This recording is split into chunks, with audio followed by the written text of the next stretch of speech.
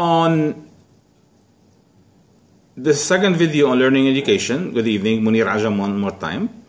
Uh, we're gonna focus on uh, a bit about our company, Sukad, but not really, I'm not trying to market Sukad here. We're trying to talk about the difference, again, between teaching and training and learning.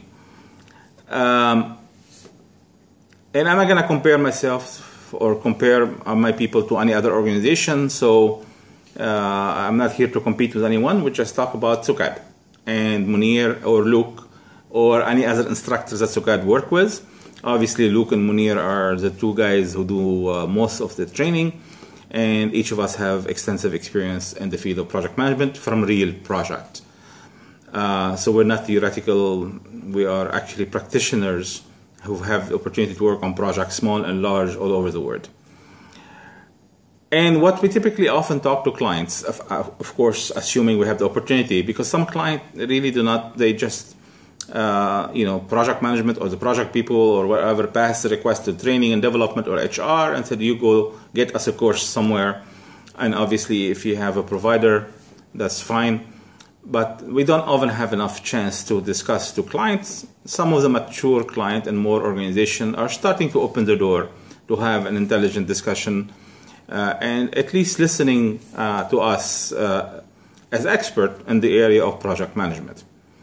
So in, in this discussion, and we've had this morning with the client, Luke and I were there, and that's leading to this series of videos, this two or three videos. Uh, the concept of learning and training is came up. Uh, I want to talk, and today we're going to focus more on, in this specific video, we're going to focus more on three type of courses that uh, Luke or myself could be teaching or could be facilitating learning. That's the key word, yeah? Uh, however, in one case, we are actually teaching. So, uh, uh and I'll explain. I'm going to talk about three different type of courses, and let's assume for, you know, I'm not going to debate and discuss all the different courses we offer, but let's talk about three specific type of courses, and let's assume each one of them is five days, 35 hours, since 35 hours seems to be the magic number that is uh, resulted from PMI and PMP certification, which is of course the most common type. The first type of courses I'm going to talk about, and they, again, I'm assuming here Mounir teaching uh, any of these three courses or Luke teaching any of these three courses. So I'm not comparing uh, Mounir to Luke, and we're not comparing Mounir and Luke to anyone else. And uh, the first type of courses we teach is, of course, our certification training, such as you know Prince 2 and PMP. PMP being the most popular, where it's still a good percentage of our revenue come from PMP training. So, assuming I'm teaching a PMP course that is five days, 35 hours.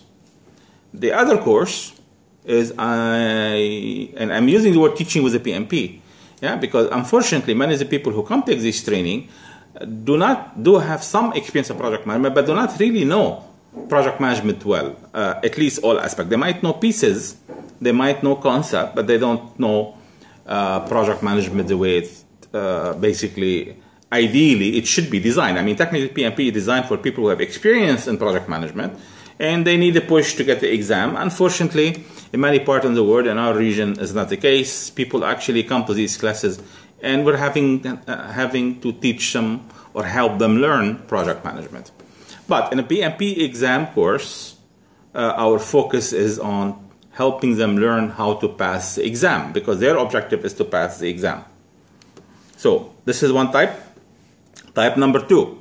I'm gonna stay with PMI because it's the, you know obviously the most common and the most popular, and I'm gonna stay with the PMBOK guide training. So let's say we wanna do a course, and Sukad does the five days PMP training is different from the five days fundamental uh, project management training that we offer on using primarily as a source uh, PMBOK uh, information, PMBOK guide information.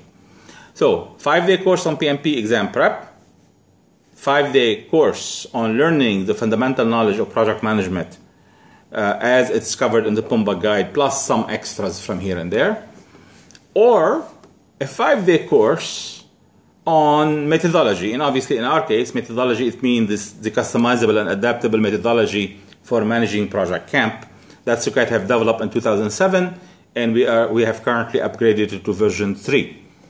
So if I give a client or my participant in a workshop these courses, yeah, PMP prep, fundamental according to PMBOK, or a methodology course. Now, when I say methodology course, of course, include aspect from the PMBOK and include aspect from uh, guide and aspect from maybe IPMA or sustainability. We introduce other topics. But the main focus, I would say maybe 50% of the coverage of the material of the class is more on project life cycles and methodologies and how you take projects from idea to closure, whereas maybe another 30% focus on process and maybe 20% focus on other aspects such as competence and sustainability and best practices and other elements. And all of these topics are in our upcoming book, but they are not necessarily, uh, so it's not limited to PMBOK Guide. And we can honestly tell our clients, again, whether Mounir is teaching the three courses or Luke. You take a PMP exam prep class with Mounir, you get an X benefit. So let's not put a number, let's just put an X benefit. Uh, so the benefit value is X. You take a PMBOK guide related course with Mounir, you will get 2X or maybe 2.5X or 3x. Yeah? Why? Because the first course I have to focus on helping you pass an exam, which means I'm going to have to help you learn formulas like n times n minus 1 over 2 is, uh, is that's a communication channel. How often, you know, uh, on your team, in your life, in your career, have actually did use the formula to calculate how many communication channel you have in your organization? Yeah?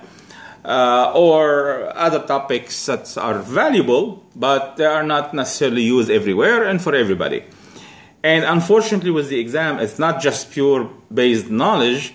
Uh, the many of the exam related question, I mean, the whole, the whole idea about the PMP, I don't want to spend a lot of time on this discussion, is that basically it's really the silliness of some of the question and the answers, where sometimes the right answer is not even given as a choice which mean all four answers are wrong, which is the least wrong, or all four answers are correct, which is the most correct.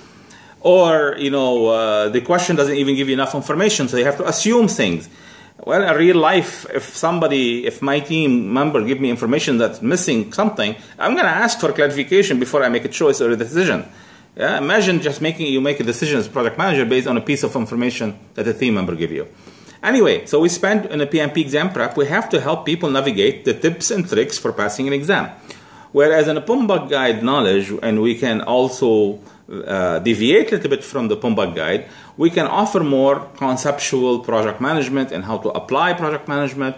We can spend time doing exercises such as develop a WBS and how many levels should WBS be, would be, or what would be the component of an estimate uh, or what's the difference between float and real float and real life, not from an exam perspective.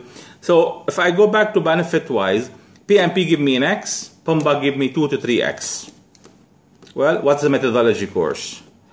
And I can assure you, my, usually, and I talk to my clients and I talk to friends and I talk to everybody, if you take a methodology based class, you are going to get, yeah, instead of 1x or 2x or 3x, 5 and 6x. So on a scale of 1 to 10, you know, maybe PMP will give me a 3, uh, a PMBOK will give me a 5, maybe a methodology course give me an 8. I'm not going to say go all the way to 10. So with that in mind, where do you go? Now, of course, what I'm sharing with you here is maybe some people said, well, Mounir, that's your opinion because you developed the methodology. It doesn't have to be CAMMP. It could be any methodology-based course from anywhere. Yeah? Uh, it could be your own internal methodology if you have one.